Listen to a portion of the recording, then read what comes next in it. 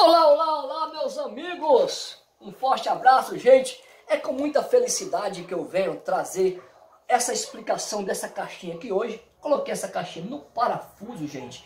E eu quero explicar exatamente no dia, não sei se muita correria, eu não, não sei se eu não falei direitinho por que, que eu tinha colocado no parafuso. Isso não é comum, isso foi uma emergência, ok? E eu quero mostrar para vocês que no caso de emergência, sabe aquelas vezes que você quer pôr uma caixinha e quer passar os fios no mesmo dia?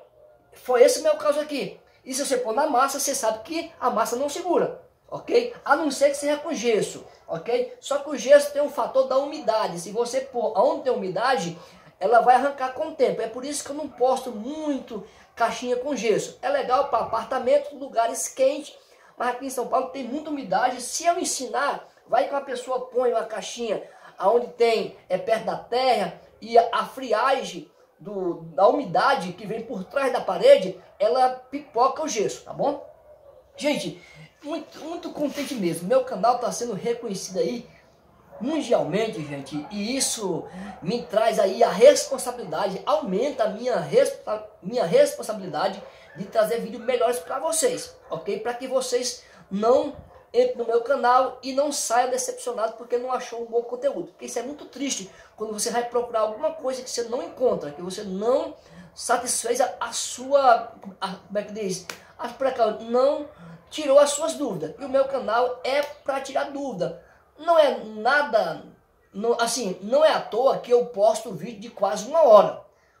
O vídeo de quase uma hora para ensinar vocês mesmo que queiram aprender, tá bom? Então, vocês que querem aprender, fica com Zé Maria Lima, inscreve no canal, ativa o sininho, gente. Compartilhe para mais pessoas poder ver esses vídeos, tá bom? Quero aproveitar, gente, deixar aqui um abraço aí pro nosso amigo Geraldo, lá de Aurora, Pernambuco, gente. Um abração para você, Geraldo. Também temos o nosso amigo aí de Pernambuco também, da cidade de Santa Cruz, acho que é Capibarixa, se eu, não me engano, é o nosso amigo, é a nossa amiga Bruna e Alex, ok? Um só comentário, deixar para mim esses dois, um, falaram que estão construindo a casa deles, ok? Então um forte abraço a todos, um abração para o mundo inteiro que me assiste, gente.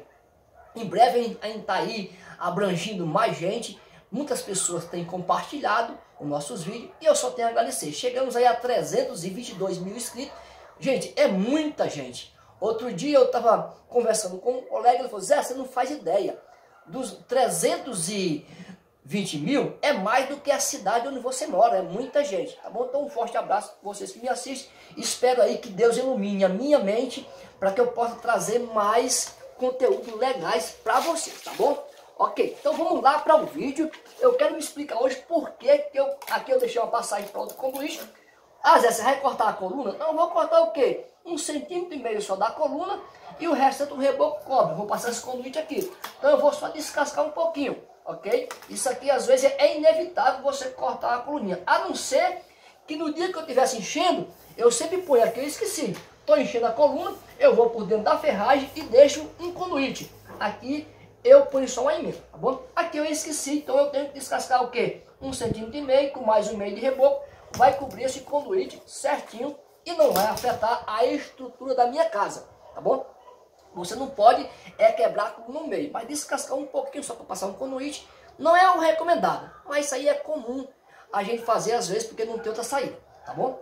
Aqui, gente, mostrar para vocês. Aqui, ó, essa caixinha aqui, eu Está um pouco suja, porque essa aqui já é a, a segunda vez que eu coloco ela. Eu coloquei um lugar, num cobo conduíte, eu arranquei. Para não jogar fora, eu coloquei aqui numa forma de passagem.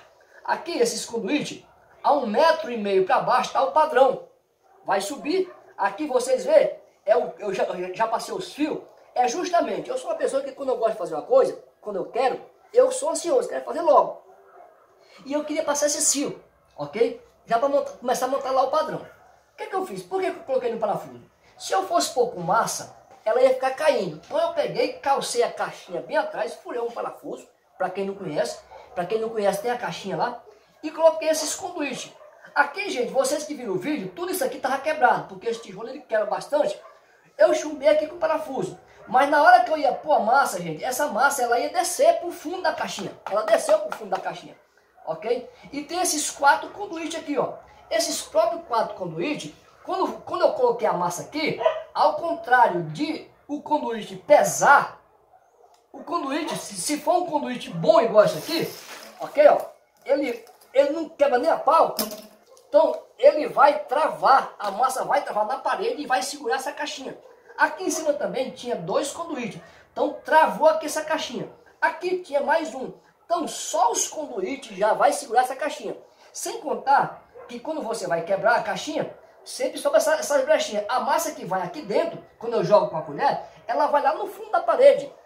Aqui por cima, quando você colocou a massa, quando eu coloquei a massa, essa massa mole ela vai escorrer para trás do fundo. Então esse parafuso foi só para fixar, para mim poder passar esse fio. Coloquei a caixinha no prumo, legalzinho, no nível. Tem um vídeo já mostrando essa caixinha aqui, vão lá que vocês vão ver.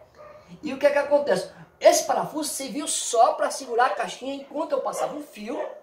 E para mim, colocar no nível, no prumo, tem lá a ver. E depois eu ia pôr massa por trás dela. Eu não mostrei, senão o vídeo ficava muito longo, ok? Mas eu uso massa, sim, atrás das caixinhas, ok? Essa aqui foi uma forma de eu... Mas mesmo que eu não colocasse massa no fundo, essas caixinhas, elas vêm com as garras. Vou mostrar aqui, não é todas, mas quase todas, ó. Elas vêm aqui com a garra, ok? Se vocês verem aqui, ó. Isso aqui é umas garrinhas, ó. Já é fabricada próprio para isso. Não é obrigatório pôr massa no fundo, não. É bom pôr, ok? Mas se não tiver, essas garrinhas aqui, ó. Ela já vai segurar a caixinha, ó. A massa aí, ó. As garrinhas. Aí tem isso aqui, ó. Tem mais essa, essa, essa garrinha aqui, ó. Aí a, a massa vai vir até aqui, ó. Rente. Então, todas essas garrinhas aqui, ó. Ela vai segurar a massa. É no caso daquela lá. Aquela tem umas garrinhas, vou mostrar para vocês bem de pertinho. Que vocês vão ver, ó. Olha só, vocês estão vendo aqui, ó. Isso, isso aqui é uma, é uma garrinha, ó. Onde a massa vai aqui por cima e essa massa vai segurar. Essa massa vai vir rente aqui, ó. Aqui é os parafusos de, de chumbar a tampa da caixa. E tem isso aqui, ó. Ok? Aí quando você pegar esse conduíte e pôr aqui, ó. A massa que vai pegar na parede e vai travar nesse conduíte, automaticamente vai segurar. Ali também, ó. Ok? Legal. Aqui eu já passei o fio, ó. Passei o fio aqui. Depois vai ter o acabamento. Ok, legal que eu vou cortar esses conduítes. Ok, então esse aqui, gente, esse fio vai passando para E aqui, ó, tudo chumbado aqui, ó. Então essa caixinha aqui, ela não sai de jeito nenhum, ó. Ó, eu posso puxar com toda a força aqui, ó. Ela, ela não sai, ó. Entendeu? Por quê? Porque tá chumbadinha. Ok, então ó, o parafuso aqui foi só para segurar a caixa. Para ela ficar no, no nível do prumo. Por quê? Como tinha muito conduíte, os, vocês sabem que o conduíte, ele, ele às vezes, ele vem com curva, ó conduíte ele vem enrolado, então ele fica sempre com curva. Ok, ele fica cur, cur, cur, curvado aqui, ó. Sou meio gago, gente, mas vamos que vamos. Olha só, a língua às vezes enrola, mas o importante é que Jesus é bom, né? Aqui o que é que acontece? Então, vamos lá, aqui, ó. Então, os parafusos foi aqui, ó. Coloquei o parafuso para fixar a caixinha e automaticamente esses conduítes já ficaram seguros com, com esse parafuso. Então depois eu coloquei massa aqui por trás, vocês vão ver, ó. Aqui tem uma brechinha aqui, ó. Quando eu jogar massa aqui, ó, a massa vai lá atrás, ó. Ok? Então falta fixar aqui, ó. Vocês veem que a massa aqui, ó.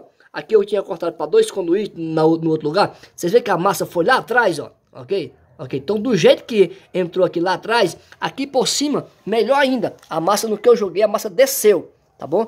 Então, o, aqui eu tô mostrando porque teve algumas, algumas dúvidas nesse vídeo e eu queria esclarecer. Tudo bem?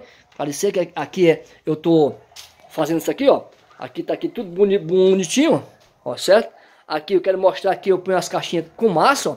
ó as minhas caixinhas aqui é totalmente chumada com massa. Foi só aquela, ó. Essa aqui, ó, você vê que a, essas caixinhas aqui é suja mesmo. Mas depois vocês vão limpa, ok? Aqui é só, é, ó, se você passar aqui é só, é só poeira, sabe?